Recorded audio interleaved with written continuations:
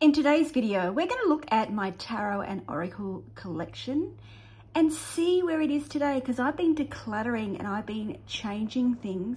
Now I've moved, so I'm not keeping my Tarot collection in a cupboard at the moment. I'm keeping it underneath the table. I'm having a nice, I've just come back from a big beach walk. If you follow me on threads, you will see every day I post my waves, I call it. This is what I'm drinking. It is ginger and water tea. I'm still trying to find the perfect coffee shop on my walk. Okay, so if you follow me live, this is where I'm currently doing my live reading. So I set the camera up here and this is actually my meditation space, even though I haven't had time to meditate as yet, but isn't it just beautiful? These are two, two new um, items that have just come into my, I don't want to say collection. I don't want to freaking collect into my home, into my space. So they're beautiful, aren't they? And they're obviously mine, so I wear those. So let's, and I do not collect crystals anymore. Okay, I really feel like we are over consuming this and I'm sorry I bought them all. You know, like I don't feel like we should be digging up the earth for these. I just don't. I feel like it's caused an unnecessary addiction that I'm seeing with people. So what I try and do is I try and buy uh, a necklace piece if I see one and I give myself only one a year. Now, last year I didn't buy anything. So we're getting there, we're getting there. And this is my crystal ball that I hope to work with. So let me move around so here you see two storage boxes. Now I'm, uh, to be honest, I don't want these crystals.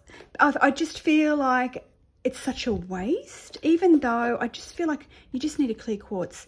Oh, I should show you this deck, shouldn't I? This is a beautiful deck that I bought. I wouldn't mind replicating a deck such as this.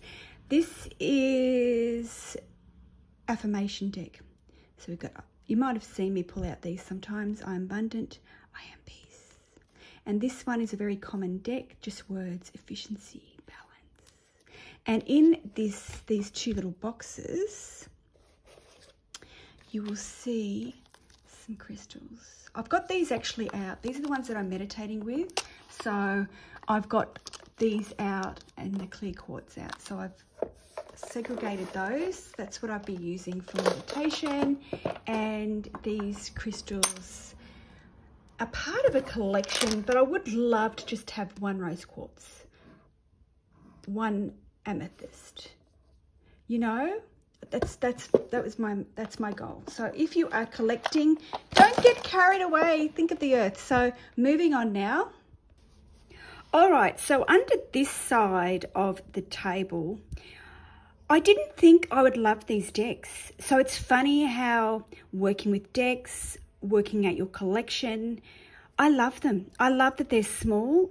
You know, it's funny, when I first started watching people collect tarot, I'm like, oh my God, what do you mean you only want 30 decks? I can really understand that now because the more I'm utilizing, the more I'm utilizing, the more I'm utilizing, the more I'm working out what I like, what I like, what I like, what I don't like, and what vibes with me. So I've put these here. This is new to my collection.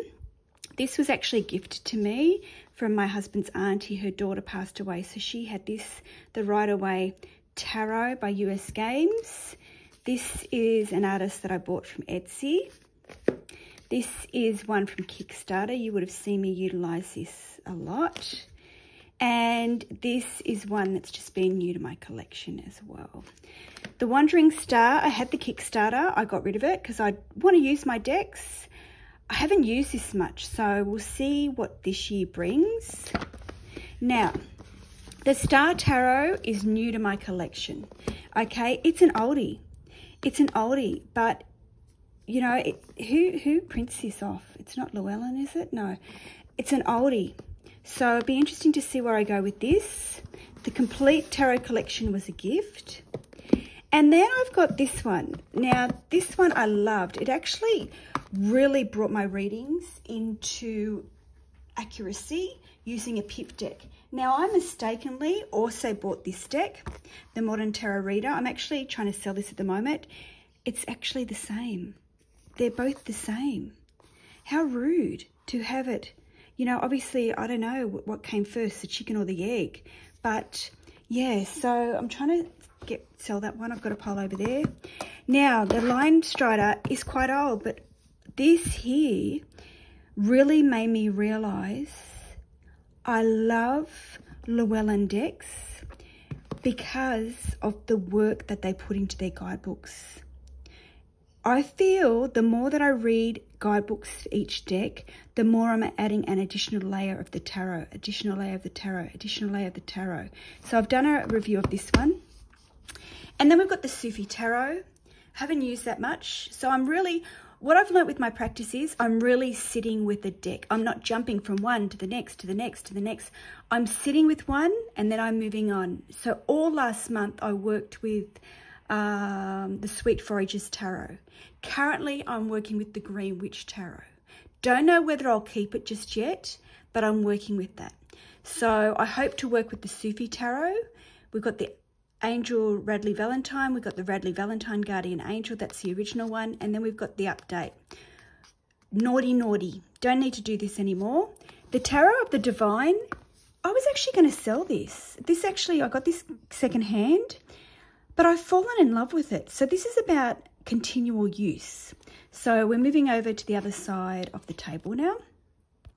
So what do you think so far? I think my collection has, it's really been decluttered down, but there's been a bigger appreciation of decks. So I've got the Radleigh Valentine Angel Wisdom, Archangel Power, Fairy Tarot, the Gentle Thrills, I was going to get rid of that until I actually cut away the borders. So I, have what I've realized is going through my tarot decks in use, I like slimmer decks. These are all the Chris-Anne decks, plus I have her affirmation deck. So you would have seen these. This was really popular. I like to go back and utilize those. But as I said, I'm working with one deck, moving on, working with one deck. This deck here, the guidebook is fantastic was going to get rid of this, but I want to rework with this a bit deeper and a bit longer so I can build up my skills better. The Modern Witch Tarot, the Akashic Tarot, and the Zombie Tarot. This is the one that you would have seen me utilize a lot recently. I love it. It's from the Fool's perspective, so I've learned a lot about some tarot cards in there. Yet to utilize this one because I've been working with this one so much and I bought them at the same time. And the Crystal Unicorn Tarot got it secondhand for a bargain. So, you know, we're cutting down, don't you think? I think I'm pretty proud of myself. So we're moving on to the next part of the table. Okay, now, um, Kyle Gray, Angel Guide. He just came out with a new deck, the Divine Masters. Very, it's very similar to Keepers of the Light. I've done a review on this on my other channel. I'm a bit disappointed, to be honest. I'm a bit disappointed in Hay House. I'm finding that they're replicating decks too much, and for me, that's not spiritual. You know, it's about being growth. I don't feel like bringing out constantly the same information is healthy. You know, I, I feel like mm, I don't know. So I'm sorry. Try not to be negative. Angel Prayers, Raise Your Vibration Oracle, which is more an affirmation deck. Love it. The Angel and Ancestors, the Gateway of Activation. Haven't worked with this much. I would love to. The Keepers of the Light. Then we've got his new one, Divine Masters. Now, as I said, this is... I feel like there's so many cards that are replicated in his other ones, Keepers of the Light. I feel like Kyle... Should I say it? I feel like he's lost his way a bit. He jumped around a lot. I don't know. I don't know. Uh, maybe because you're young and you're jumping around and, you know, you're going from chanting to yoga to meditation to all things spiritual, but I don't know how it sits with me. I don't know. Maybe because I'm thinking more about my own decluttering and not wanting to purposely buy. And I feel like I bought this one because I'm such a big fan of his. Maybe I'm disappointed in myself more than I am about him creating decks. So anyway, the Angel Auras is just a recent one. I like it. It's nice and bright. Denise Linn. I can't get rid of this one. I don't know. There's some emotional attachment to this. I think it's about how, how long I've had it. The Soul's Journey. I've loved all of James Van Praagh's deck. And as you can see, I've got rid of all his decks bar this one and Talking to Heaven, I think. I have regifted them and especially the Love deck was my favourite. Now, I've said this before, Cheryl Richardson is one of my favourite authors. Exceptional. And maybe because we're close to the same age, just wonderful. She used to be on Oprah, actually. John Holland, love him as well as a psychic. He's very grounded. He's just a, you can tell the way he talks. He's just a beautiful giving medium. Love this Talking to Heaven deck. Jackie, if you're watching this, I sent her two decks. She just loves them. Uh, I bought, I think, 10 of them and I've gifted them, sold them, because they were talking about that they won't be in print any longer, and he, they did reprint it, but without Doreen's name on it. Moonology deck, I haven't worked with this much, so I want to go back to that. The Angels Simple, love this deck. The Energy Oracle cards, love that deck. The Kryon cards, he's quite big of channeling. You know, have you heard the Kryon? He was very, very big. Uh, what's his name? Lee Carroll. He has a big YouTube following. Blooming Cat Oracle, that's what I got with the tarot card. Love the messages. Do you know what? It makes me to the point of, man, I wish I could draw because I want my own deck. So that's this side of the table. What are you thinking about my collection so far? And then on this side of the table is all the Doreen Virtues. So we've got the Romance Angels, the Ascended Masters. That's pretty much what's a lot of it as well is in Cole's deck. But this is quite old, you know, Fairies, I was gifted to. I was gifted that. Flower Therapy, Angels, Raphael. I was gifted that one just recently with the death of my um, husband's cousin.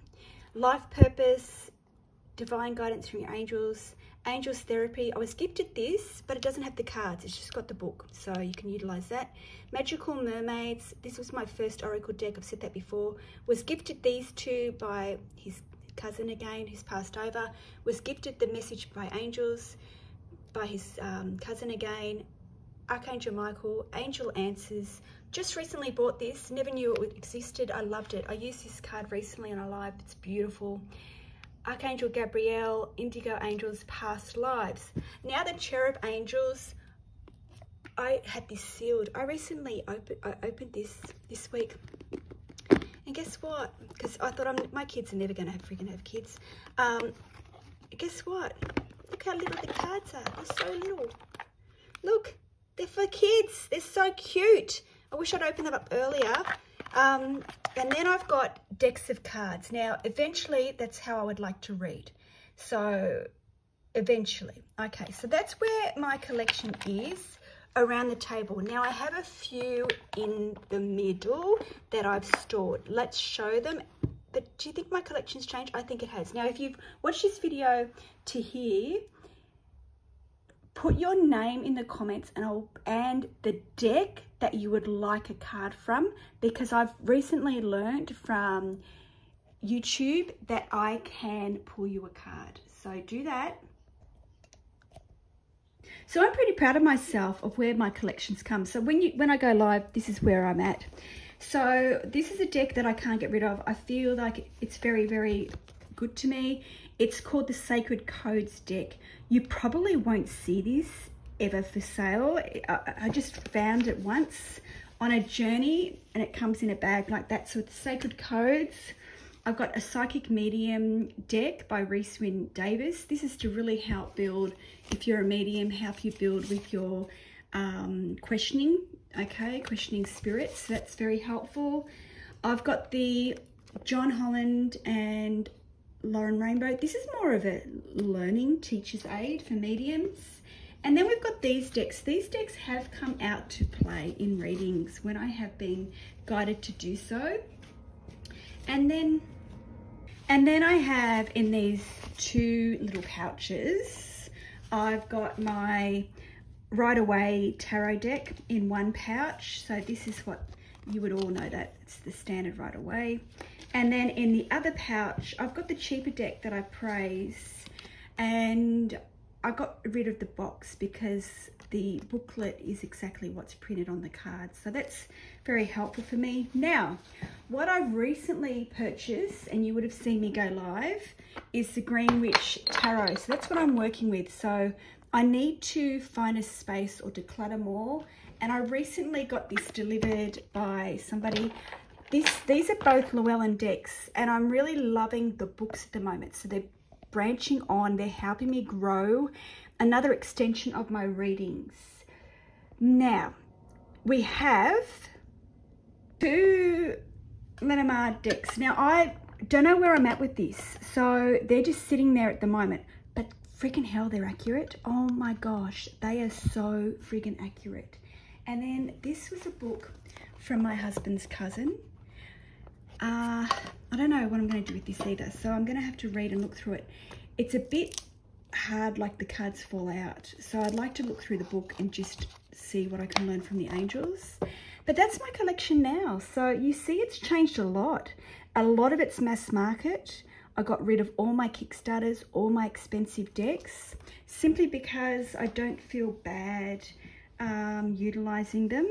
And of course, obviously I've got my own little deck as well, which let's pull a card for that. But don't forget, if you've lasted all this way, put your name in the comments and I'll put you a card from it. But let me know which deck. Go through the video and let me know which deck.